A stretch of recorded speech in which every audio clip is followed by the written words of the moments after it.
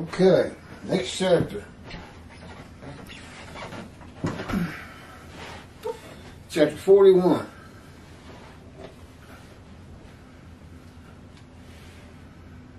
Of the book God dictated to me, he titled Isaiah 53 in the Day of the Lord.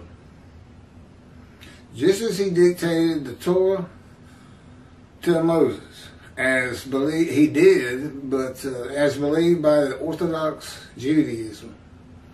What they don't know is he dictated every book in the Bible. The entirety of the book is his entirety, not just the Torah from him, but all of it. And that can be verified. Yeah, I've already done it in previous videos. You need to either read the book or watch the videos. All the videos come from that book, and there's a few from the second book he dictated to me, The Life of God's Righteous Servant. And that would be me, Moshiach. That's what the Talmud said for the most part. That's what the sages believe. That the anointed one of Isaiah chapter 11 verse 1, Moshiach, is described in Isaiah 53. They knew you had to have a description. There's two covenants to be delivered. I don't know why any rabbi would think, and I know one in particular that does, Tovia Singer, who thinks Joshua was the prophet like Moses. Hmm. You're looking for the man God dictates a book to. That's what's unique about Moses. And Moses couldn't possibly have known that information any more than the prophets could have known the information of their books that God told them to write. By his dictation, command, and direction.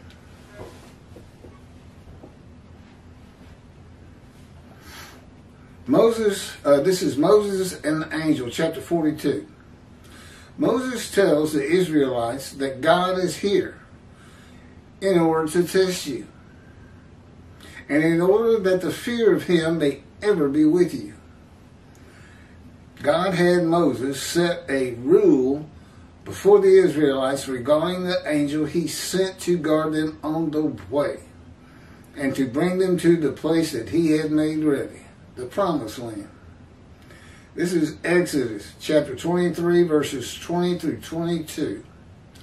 I am sending an angel before you to guard you on the way and to bring you to the place that I have made ready. Pay heed to him and obey him. Do not defy him, for he will not pardon your offense, since my name, God, Hashem, is in him. Can also find that Ezekiel that God is in his spirit. So when the spirit lit upon me, pursuant to chapter 11, the spirit of God lit upon the twig of the stump of the shoot of the stump of Jesse, could just as well read the spirit of God and God lit upon the twig of the shoot of the stump of Jesse you instantly become a man of divine being and you can hear God speak. Conversations between you and God. Moses, King David, Elijah, all the prophets of the books of the prophets, all divine beings, man and divine beings. Just, it only shows up in one place, and that's when Jacob wrestled with a man and divine beings, and God spoke. He can speak through a man. He definitely did through Moses. And uh, he can with me, and he does. You can even spot it in some of these videos. You base, it's the words that are being spoken. Do those words come from Keith or from God? I said, let them figure that out. Go watch all the videos. God had Moses set a rule before the Israelites regarding the angel he sent to guard them on the way to the promised land. And he said, Pay heed to him and obey him. Do not defy him, for he will not pardon your offenses, since my name, God, Hashem, is in him. There are no orders, instruction, rules, or commandments between an angel and Moses or an angel in the Israelites. God said, pay heed, uh, heed him and do as all that I say. Heed him, but do what I say. He speaks through the angel of the Lord, too. That's the angel of his presence, the Holy Spirit. And he's most definitely a person. He's in this room right now. And so is the presence of God. They all come from Moses. This is how you know Moses is a man divine being. Because the angel's within him. The angel never says anything, but Moses sure does. Who receives them from God. This angel is in Moses. Moses is a man with divine beings who is a messenger of God's laws. The divine beings are God and the angel of his presence. A man with divine beings is a host of the Lord's hosts. And there's a video on that. The descendant of King David, that's the twig of the shoe, the stump of Jesse, that the Spirit of God alights upon, is a host of the Lord's hosts. That, that's another phrase for a man in divine beings, a host of the Lord's hosts. One God, one angel, and one man. The prophets of God. Because if he speaks to you, you're a prophet. Prophet does not mean that you see the future. It's just you, you have discussions with God. Elijah is also a man in divine beings who is a messenger of the new covenant with sin forgiveness from Jeremiah and a teacher of righteousness. Unlike the prophets of the Hebrew Bible, he does not have to preach repentance for everybody's forgiven. You know, for past sins. Now, he would teach it for uh, any sins that, that may occur thereafter. He teaches that the new covenant is an amendment and renewal of the first covenant. And the first covenant is, I will be your God, you will be my people, and you will follow all my commands, rules, and directions.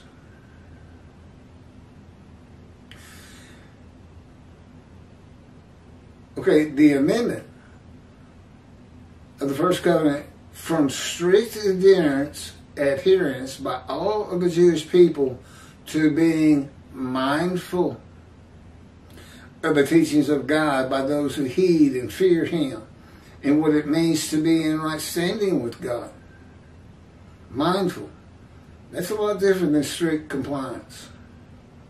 That's the amendment. It, it really, he just keeps repeating the first covenant. I'm your God, you are my people, and basically always have been. Always will be. You know, the Christians think God left the Jewish people for the Gentile with the sacrifice of his son. God making a sacrifice to human beings. That's a switcheroo.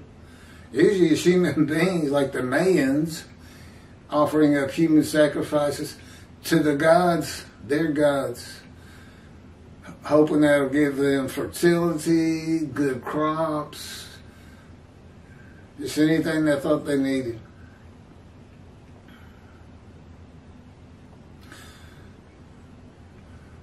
This makes his task of recounseling the family members one to the other with Judaism more likely to prosper. Oh yeah, we're going to them. Okay, chapter 43. Moses and Joshua the attendant. You'll find this interesting. This has to do with the radiant face of Moses.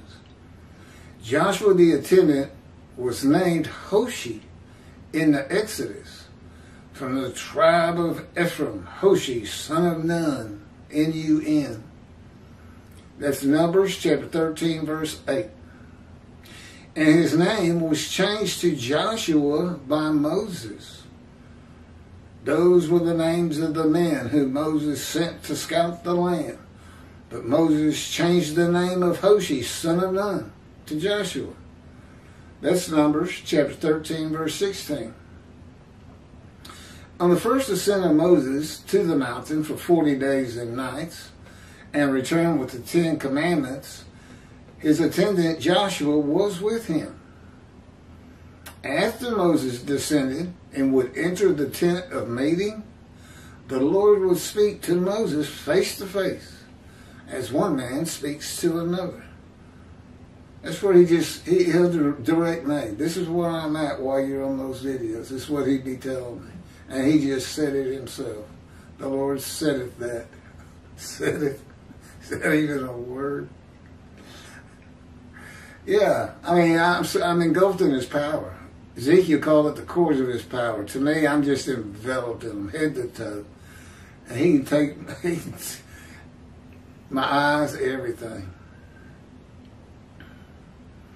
And he would then return to the camp. So Moses leaves and goes to the camp from the tent of meeting. But his attendant, Joshua, son of Nun, would not stir out of the tent. Joshua's name was Hosea at this time. Joshua did not leave the tent of meeting where Moses would speak to God face to face. And this time, the face of Moses was not seen as radiant. Okay, so Moses left. But Joshua, son of Nun, is still in there. No, don't tell. When Moses ascends the mountain the second time, for 40 days and nights, and returns with the new Ten Commandments, well, they're not new. God had to write them down the skin of his face was radiant. And thereafter, when he enters and exits the tent of meeting, the skin on his face is radiant. And Hosea is not mentioned again, or Joshua. Oh, again, on the mountain or in the tent. Joshua the attendant, who is Hosea the attendant, represents the person of the Spirit of the Holy God, who is alighted upon and dwells within and without Moses of the radiant face. Spirit has lit upon and entered him, and God is in his Spirit. Moses had become a host of the Lord's host, a man with divine beings. Chapter 44. Two more, 44 and 45. Moses and the 70 elders. God, there's no question Moses is a man of unbelief. This, this is, well, God talked to him. God, yeah, once, once God speaks to you, I mean, that just means the Spirit lives upon you and God is in the Spirit.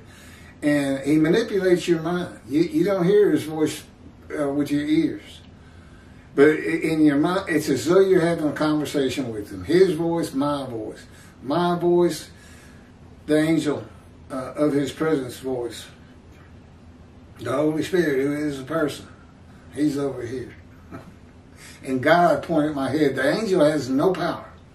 Nobody has power in the heavens except God. And he didn't share it with anybody. I've been trying to get some. He won't let me have any. He's afraid I'd put him through the fire refinement. Now I would. Now I couldn't do what he does to me. It's too mean. It's too brutal. Doesn't phase him a bit. That was one of my first lessons, or it's not the first lesson. Keith, this is God talking to me. Keith, your pain means nothing to me. And I, and he hadn't really explained the fire of refinement thoroughly to me. I had no idea what was coming. I just went, okay. I didn't really think about it. it's a hell of a thing to tell somebody. Moses and the 70 elders. God tells Moses, I will draw upon the spirit that is on you and put it upon them. They shall share the burden of the people with you and you shall not bear it alone. That's Numbers chapter 11, verse 17. And then God said, and then God drew upon the spirit that was on him and put it on the 70 elders. And when the spirit rested upon them, they spoke in ecstasy, but did not continue. That's Numbers chapter 11, verse 25. And Moses said of the two elders who were acting the prophet in the camp, speaking in ecstasy, as the Spirit rested on them, would that all of the Lord's people were prophets, that the Lord put his Spirit upon them. Numbers chapter 11, verse 25. The Spirit that was drawn from Moses and put upon the 70 elders is not the Spirit that was born in Moses and was Moses, the same Spirit that is in all men. What was drawn from Moses was the Spirit of God. And the Spirit of God is a person. The first person created by God, an angel. Angels are persons. The 70 elders had become hosts of the Lord's hosts because the Spirit lived upon them and God is in the Spirit. Apparently, He can do it with 70 people at one time. He won't do it for me. I keep telling him, I'm the prophet like Moses. Why don't you go alight upon 70 synagogues and get get rabbis reading and teaching this book? Well, you got them to help Moses. That's a sound logical argument. And like my cousin Vinny denied. If you ever have you if you haven't seen that show, go watch it. You'll see what I'm talking about. When each heard the angelic voice of the Spirit of God, more likely it was God. But it could have been him. He talks all the time. God doesn't speak that much, except to torment me. Speak to them, within them or without them. They became very excited. We're saying all kinds of different things, depending on what the person, the Spirit of God, was saying to them. The important part for Moses is that each of the 70 would now, in one accord, have the idea and thought that they would share the burden of the people with Moses. There is no account of God commanding the 70 elders to share the burden of the people with Moses. The Spirit of God told them to. Last one, chapter 45. This one's really interesting, but it's kind of hard to follow. The word of the Lord and Elijah. From 1 Kings chapter 19, verses 8 through 16. Elijah, oh, summarize. This is a summary of that. 8 through 16. Elijah, and he's got this in quotes, walked 40 days and 40 nights as far as the mountain of God at Horeb. Horeb. There he went into a cave and there he spent the night.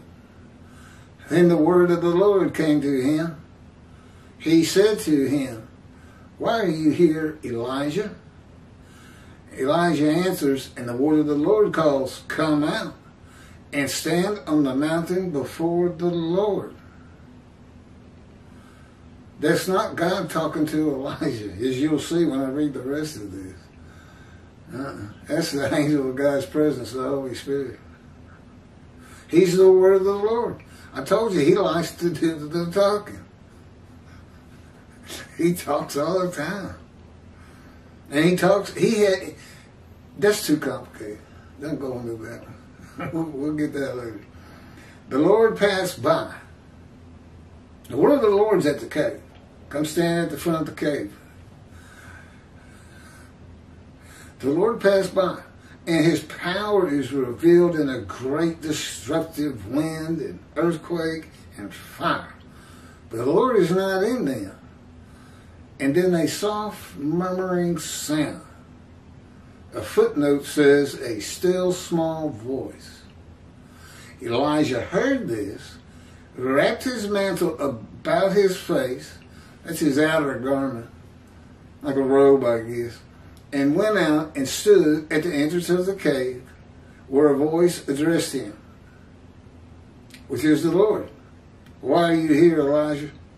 Elijah answers. It's the same question that came from the word of the Lord. Here's God doing it personally. Elijah answers, and the Lord instructs him to go to Damascus and anoint Hazael as king of Aram, Jehu as king of Israel, and Elisha as the prophet to succeed him. The word of the Lord came to and is with Elijah at the cave and says, Why are you here, Elijah? And come out and stand on the mountain before the Lord. The Lord passed by. His power is revealed, earth, wind, and fire. Without his presence, he's not in them. And the Lord says, Why are you here, Elijah? The word of the Lord is at the cave with Elijah and speaks the same words that God speaks to Elijah away from the cave after he passed by and revealed his power at the cave. But he was not at the cave. The soft murmuring sounds, a still small voice, would be the same words from God that the word of the Lord had spoken based on one question that had already been asked twice before. Why are you here, Elijah? Which was, come out and stand on the mountain before the Lord. And for the reason, that is what Elijah did after hearing the still small voice. Elijah ignored the word of the Lord. Remember, he has no power. The only power is God, the God of hosts. For the Israelites have forsaken your covenant. This is Elijah talking to God. Torn down your altars and put your prophets to the sword. High alone men left, and they are out to take my life. The person of the Spirit of the Holy God speaks the words of the Lord to man. It's one person to another person is the word of the Lord. It's all over the Hebrew Bible. The word of the Lord came to me. Uh, it's really pointed out in Zechariah, which would be chapter, it's me and Rashi. Well, I'm pretty sure you can find it in 21. Yes. Where is it? It's not Zechariah. Zechariah. Try uh, chapter 21. With, uh, that's commentary on Isaiah 53 by myself and Rashi. I found his commentary at uh, Chabad.org.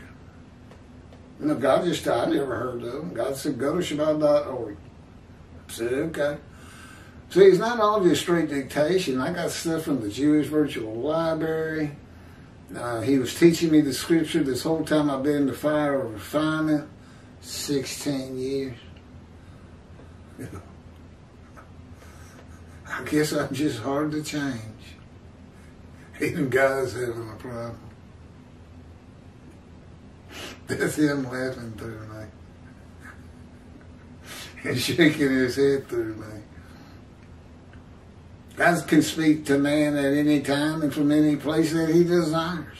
He fills the universe like a great consciousness, and his presence does not have to be before a man or in the angel of his presence to be heard. His presence is his mind. He's not all one big brain. That's what enters the temple along with the angel of his presence, the Holy Spirit, which those two combined are the Holy Spirit, are the Shekinah, which I will be a part of. Because God says He's going to return to His temple suddenly. Well, for those who believe I'm a man in divine beings and that God resides within me with His angel, I am going to be the first person to enter the eternal third temple. And everybody who believes in me will know God just fulfilled Malachi 3, His words returning to my temple. And I told God, well, it says suddenly. If I run in? I ran track. I set up the blocks and put on my spikes. Does not have to be before man or in the angel's presence to be heard. He has absolute power, absolute knowledge, and his and he is his creation. There's more on that other places. He is on